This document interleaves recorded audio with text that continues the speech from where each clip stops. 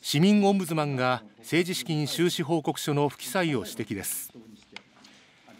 名古屋市民オンブズマンは今日おととしまでの5年間の自民党愛知県連の収支報告書で県内の党の各支部への支出7700万円余りと各支部からの収入およそ1200万円について不記載の疑いが判明したと発表しました。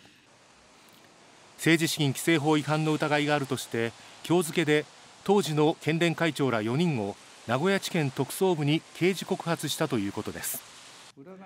市民オンブズマンの新海聡代表は裏金を作る手段になり得るものでちょっとしたミスとは見過ごせないと話しています。一方自民党愛知県連は告発状が届いておらずコメントできないとしています。